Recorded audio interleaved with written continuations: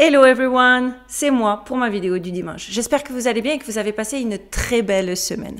Alors avant de commencer, je ne sais pas si vous vous souvenez, mais il y a quelques temps déjà, je vous avais dit que avec parcimonie et de temps en temps, j'allais faire, enfin si le produit en valait la peine, quelques sponsoring et collaborations qui me semblaient pouvoir représenter une affaire et une opportunité intéressante pour mes abonnés. Bon, ben, aujourd'hui, c'est le cas et je vais vous présenter une application qui va révolutionner votre expérience de lecture et vous permettre de découvrir des histoires passionnantes en toute facilité où que vous vous trouviez pour profiter de votre été. Que ce soit à la plage, à la piscine, en haut d'une montagne ou dans votre jardin, vous allez pouvoir en bénéficier. J'ai le plaisir de vous présenter Nextory. Nextory France est une application de lecture européenne et la seule application qui propose tous les formats de lecture. Livre audio, e-book, séries audio exclusives, BD et presse. Avec Nextory, vous avez accès à un catalogue de plus de 250 000 titres pour tous les âges et tous les goûts. Laissez-moi vous montrer un peu comment fonctionne l'application Nextory. Regardez l'écran pendant que je navigue à travers les différentes fonctionnalités. Ici, vous pouvez voir la page d'accueil avec une sélection de livres recommandés pour vous, basés sur vos préférences de lecture. Ensuite, nous avons la catégorie des livres audio où vous pouvez trouver une grande variété de titres narrés par des voix captivantes. Vous pouvez écouter ces livres audio pendant vos moments de détente ou même en faisant d'autres activités comme le bronzage et le farnientage aigu. Perso, ma section préférée, c'est celle des e-books. Ici, vous avez un accès à une multitude de livres numériques dans tous les genres imaginables. Ici, vous pouvez voir moi ce que j'ai choisi pour lire cet été parce que j'adore ce genre de lecture. Vous pouvez les lire sur votre smartphone, votre tablette ou votre ordinateur à tout moment et n'importe où. Même pas besoin d'une liseuse dédiée. Si ça, c'est pas le top, parce qu'on sera euh, tous d'accord, la seule chose qu'on n'oublie jamais d'emporter nulle part, c'est quand même notre téléphone. Et eh bien avec le téléphone, vous avez tout ça à votre portée.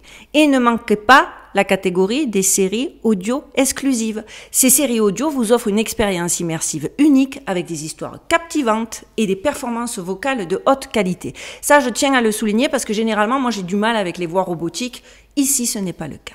Enfin, Nextory vous propose également une sélection de bandes dessinées et de magazines pour tous les passionnés de visuel. Alors n'attendez plus, cliquez sur le lien dans la description pour bénéficier d'une période d'essai gratuite de Nextory et plongez-vous dans un monde de lecture passionnante. Ne manquez pas cette occasion de découvrir l'application qui va enrichir vos étés de belles histoires. Avec Nextory, c'est comme avoir une bibliothèque à portée de main. Mes livres préférés sont à portée de clic et pour une grosse lectrice comme moi, quoi de mieux? Alors je vous souhaite une bonne lecture avec Nextory et j'espère que vous m'en donnerez des nouvelles. Donc voilà qui est dit et bien dit, et maintenant il est temps de nous plonger dans le sujet que je vous ai réservé pour ce dimanche. Alors, vous savez, c'est l'été, j'ai décidé que je ne ferai pas de... Enfin, que je tentais, en fonction de l'actualité aussi, mais de faire des sujets... Euh, pour ceux qui, comme moi, ne partent pas vraiment en vacances, c'est toujours sympa de voyager à travers certaines vidéos tout en se cultivant. Bon, ben, ça va être le cas aujourd'hui. Située au cœur de l'aride désert, la ville de Felicity émerge telle une énigme à cheval sur les frontières de la Californie, de l'Arizona et du Mexique. Une oasis artificielle érigée sur des milliers d'acres de terre stérile où peu d'âmes s'aventurent. Mais vous allez voir que derrière son apparente insignifiance, Felicity dissimule un secret enfoui depuis des décennies, un secret qui donne tout son sens à son existence. Officiellement baptisée le centre du monde, cette cité mystérieuse a été adoubée par les autorités du comté impérial de Californie et par l'Institut géographique national de France. Première curiosité à noter et qui, je suis sûre, va en faire bondir plus d'un sur leur chaise, mais va ravir les aficionados de la théorie de la Terre plate, c'est comment peut-on déterminer le centre d'un globe sphérique? Je trouve que c'est assez présomptueux d'avoir été adoubé centre du monde. dites-moi ce que vous en pensez, mais moi je me suis dit c'est première bizarrerie. Vous allez voir que pour percer les mystères de Felicity, il faut comprendre le sens littéral ne suffit pas. Attention, les gens terre à terre, ce sujet ne va pas vous plaire. Un symbolisme ésotérique se cache derrière toutes ces déclarations officielles. La clé se trouve dans une imposante pyramide de granit qui trône au cœur de la ville, mesurant fièrement 15 mètres de haut. Au sommet de cette structure énigmatique, là où les rayons du soleil semblent converger, repose le véritable centre du monde. Mais pourquoi donc une pyramide au milieu de ce désert? Pourquoi ce symbole chargé d'une telle signification? En fouillant dans les méandres de l'histoire de Felicity, rapidement on découvre un fait troublant. Cette ville insolite ne peut être rien d'autre que l'œuvre de l'élite occulte. Elle a été érigée selon leurs desseins les plus sombres, un témoignage tangible de leur pouvoir et de leur emprise sur le monde. Mais quelles étaient leurs motivations? Quel secret enfoui se cache donc sous cette strate de sable brûlant? On va essayer d'y répondre ensemble. Mais vous allez voir que si ça, ça vous semble un petit peu, wow, elle va loin, l'élite occulte, etc., à base de pyramides, vous allez voir euh, la démonstration et ce qui va suivre. Je pense qu'il n'y aura pas beaucoup de place pour au doute. Parce que c'est en tout cas, moi, ça a été ma lecture et c'est ce que j'en ai déduit au vu de mes connaissances sur le symbolisme, au vu de mes connaissances, vous allez le voir sur la franc-maçonnerie et tout un tas de petits détails. C'est ce qui m'est apparu. Des vérités profondément enfouies semblent se dérober à chaque pas. Chaque pierre de la pyramide renferme des indices, vous allez le voir. Chaque recoin de Felicity recèle des mystères insondables. Il ne suffit pas de contempler la majesté du centre du monde, il faut explorer les abîmes pour démêler cette toile tissée par une main invisible. Les initiés de l'élite occulte et ceux qui s'y connaissent en symbolisme occulte savent que Felicity est bien plus qu'une simple attraction touristique excentrique, parce que c'est comme ça qu'elle est présentée à la vue de tous aujourd'hui. Bon, euh, qui va faire du tourisme au milieu de nulle part? Une, cette ville bénéficie pas non plus d'un marketing de ouf. Euh, si tu cherches pas, tu sais même pas qu'elle existe. Niveau touristique, ça se pose là. Ils se servent en vérité de cette ville comme d'un puissant talisman, un symbole de leur pouvoir soigneusement camouflé dans une parcelle reculée du désert.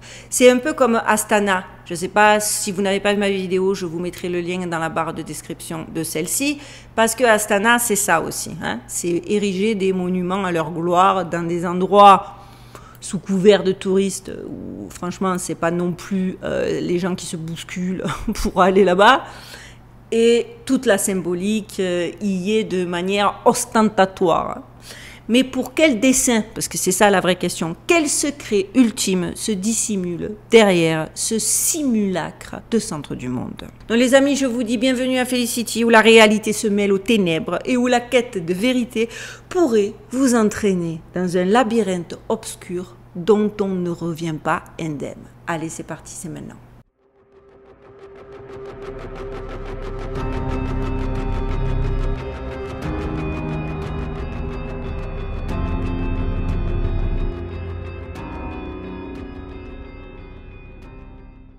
Sous cette apparence donc de curiosité touristique, donc personne n'en a jamais entendu parler, se cache une étrange bizarrerie, comme un voile ficement tissé recouvrant la véritable nature de ce lieu énigmatique. Le panneau indiquant une population de seulement deux personnes, c'est là que commence l'ironie, Jacques, André, Istel et sa femme Félicia, pourrait sembler anodin, voire loufoque à première vue. Pourtant, il trahit une vérité troublante. En effet, la reconnaissance officielle de la ville par le Conseil des superviseurs de Californie en 1986 ne peut pas être considérée comme une simple plaisanterie. Felicity est bien plus qu'une simple création excentrique de son fondateur. Il faut creuser plus profondément pour percer les mystères de Felicity. Derrière sa façade kitsch et ses apparences touristiques se dissimule un réseau d'activités énigmatiques d'une nature troublante. Les symboles maçonniques qui imprègnent chaque recoin de la ville ne peuvent être ignorés. Felicity est bien plus qu'une simple attraction. C'est le point névralgique d'une entreprise occulte, sérieuse et déconcertante.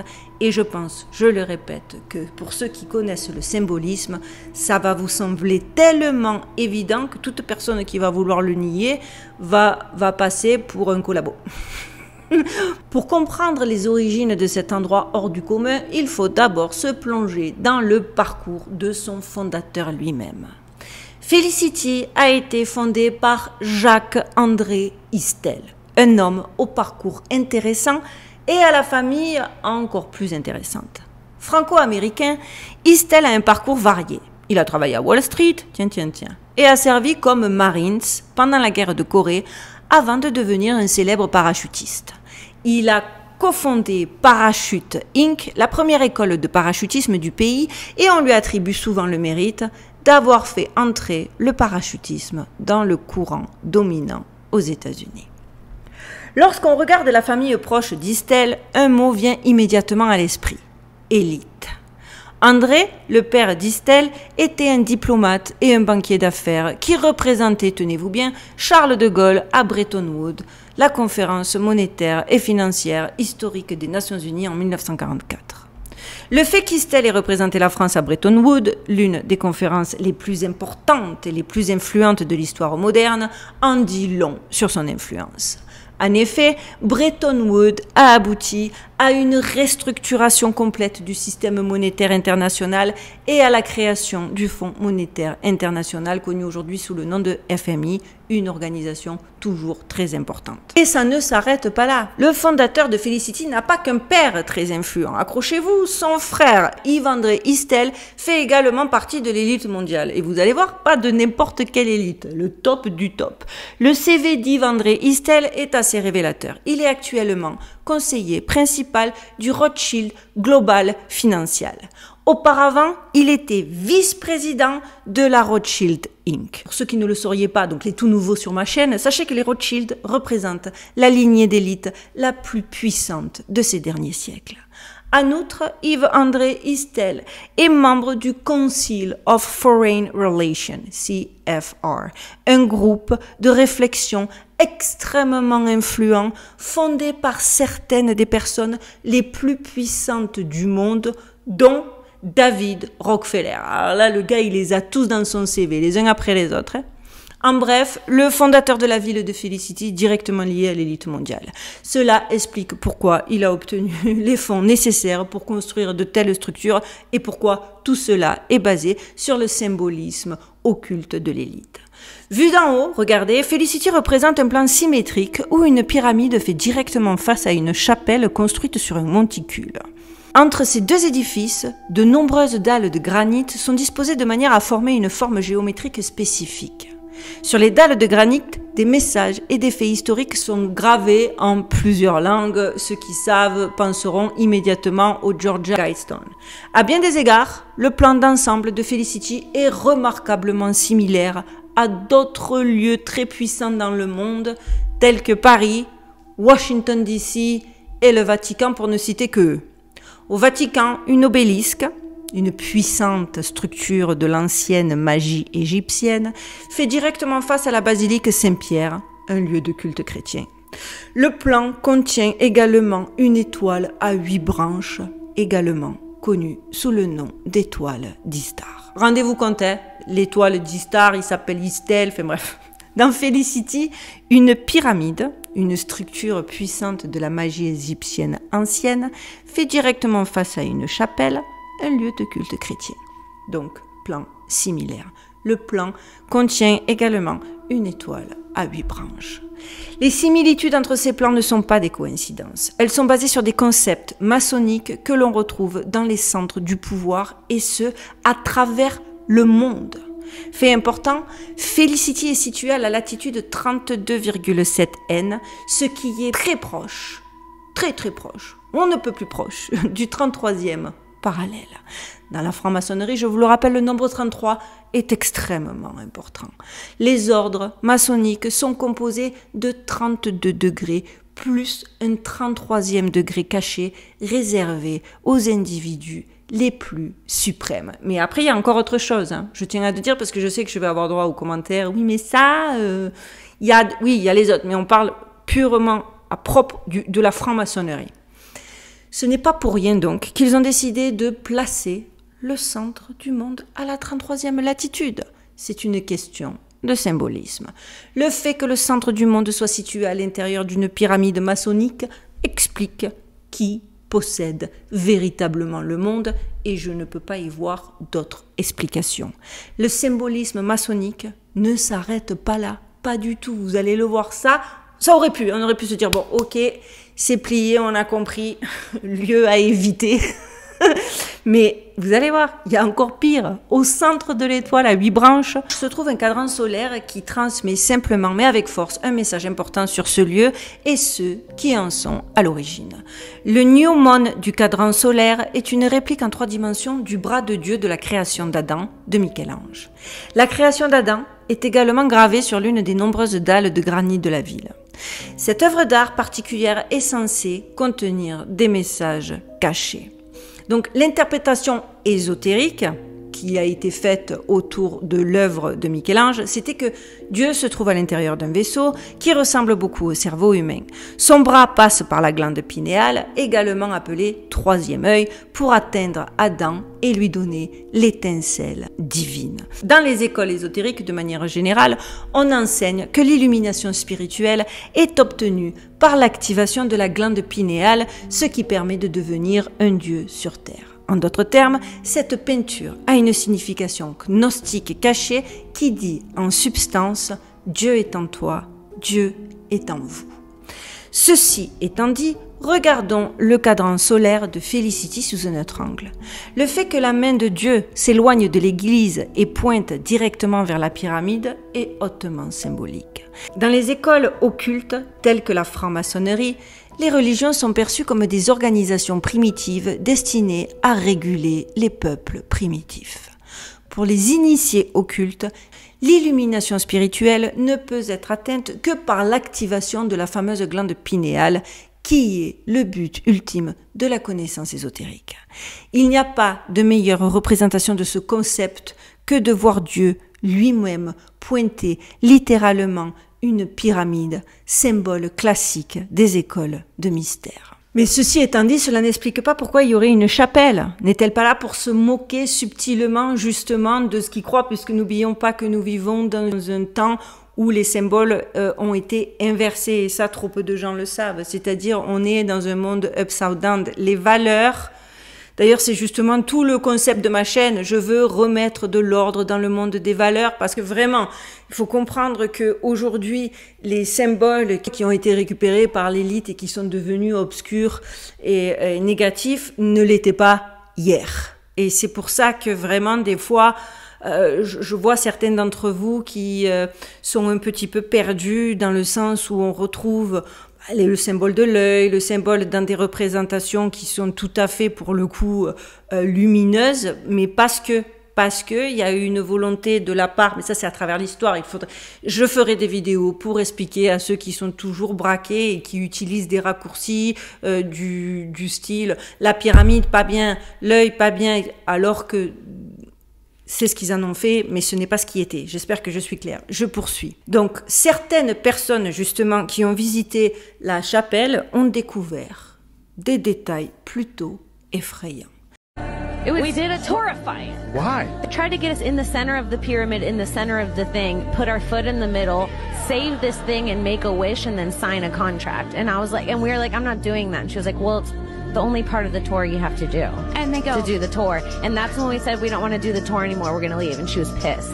And then they said, she goes, this right here is the center, center of, of, the, the world. world. La chapelle de Felicity repose sur 150 000 mètres de terre. Dans une interview accordée à Roadside America, Jack André Istel a déclaré Je ne suis pas particulièrement religieux, mais si vous devez construire une maison de Dieu, elle doit se trouver au plus haut. C'est à peu près ce que dirait un franc-maçon. Les initiés affirment que la maçonnerie n'est pas une religion, mais qu'elle enseigne l'existence d'un être suprême. Qui est cet être suprême?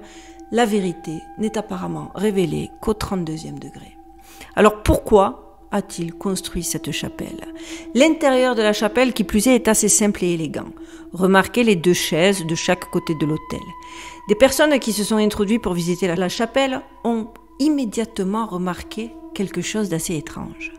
La partie en cuir d'une chaise était fortement tachée de ce qui semble être des gouttes de sang.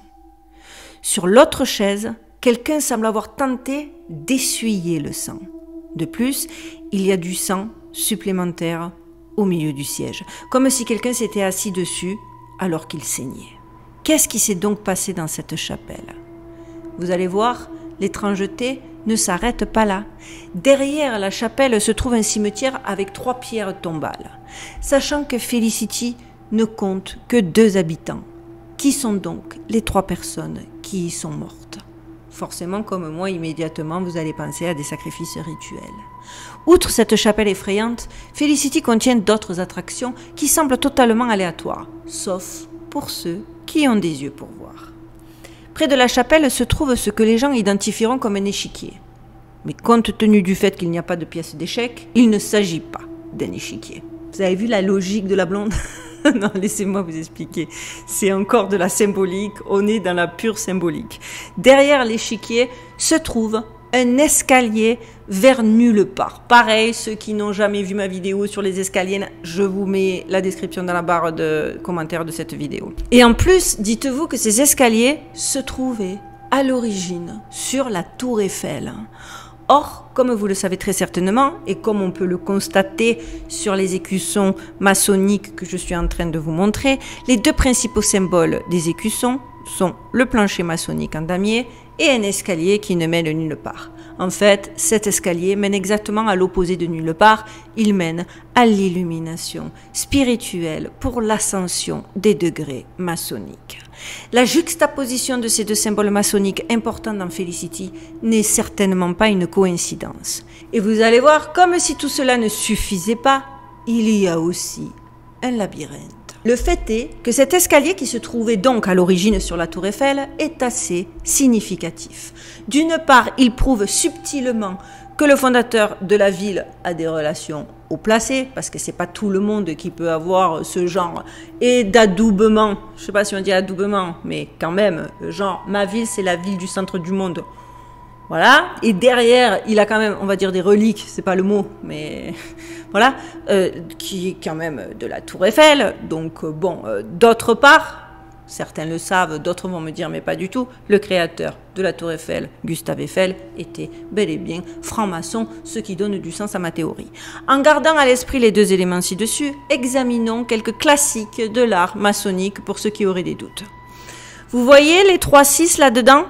C'est tout dire. Achevé en 2018, le Mass of Honor, d'une superficie de 160 000 pieds carrés, se compose de trois cercles imbriqués les uns dans les autres. Le silt officiel de Felicity précise que le labyrinthe n'est pas un labyrinthe littéral. Vous ne perdez pas votre chemin, mais sa forme invite certainement les visiteurs à participer à la pratique ancienne de la marche en labyrinthe. Parce que oui, pour ceux qui ne le savent pas et qui trouvent tous ces délires complotistes et conspirationnistes, ben, sachez que rien, vraiment rien n'est anodin. La seule façon pour que vous pensiez que c'est anodin, c'est que vous avez une méconnaissance. Alors avant de monter au créneau, cultivez-vous.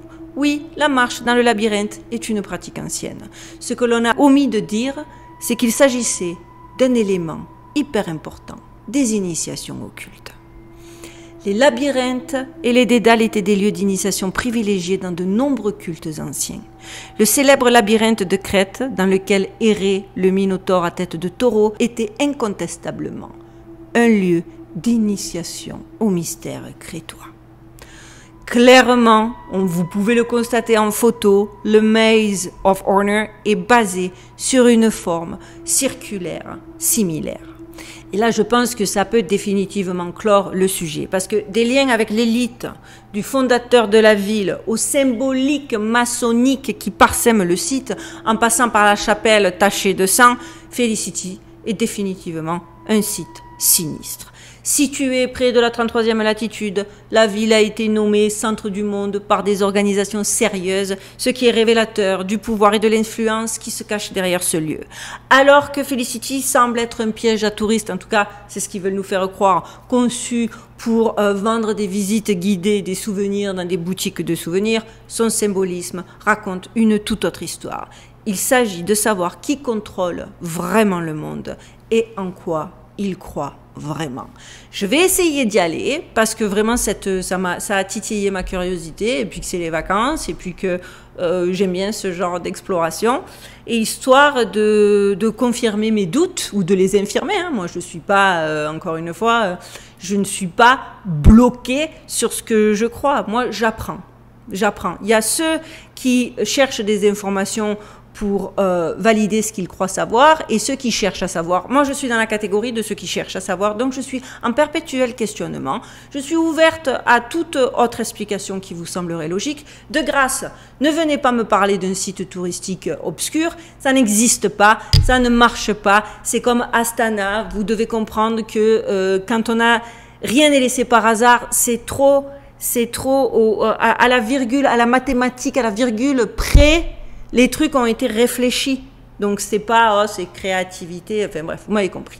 Voilà les amis, aujourd'hui c'est fini pour moi. J'espère que ce sujet vous aura plu. Moi j'ai bien aimé.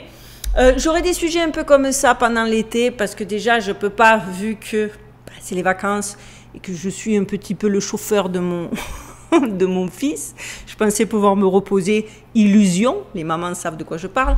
Il se peut que euh, je sois pas exactement au fait de l'actualité, à pouvoir me préparer, à pouvoir préparer mes vidéos à la semaine par semaine. Donc, quand j'aurai eu, ben, je vous ferai des sujets un petit peu plus global et dès que je peux, je me rebranche à l'actualité. Avant de vous quitter, vous savez, vous connaissez le système. On like à fond, s'il vous plaît. Il est très important que cette vidéo fasse beaucoup de vues on commente, on partage. Si on est nouveau, on s'abonne. Plus la communauté est grande, plus on est fort. Et surtout, avant de vous laisser, rappelez-vous, Nextory, le lien dans la barre de description, le top du top. Avec Nextory, vous avez votre bibliothèque à portée de clic. Et ça, ça je vous jure, hein, que pour se cultiver, il n'y a rien de mieux que des livres. Et alors, si en plus les livres, ils pèsent pas lourd et qui sont contenus dans nos téléphones, que demande le peuple Voilà les amis, cette fois c'est bel et bien fini pour moi. Je vous souhaite de passer une belle semaine. Prenez soin de vous, prenez soin de vos proches,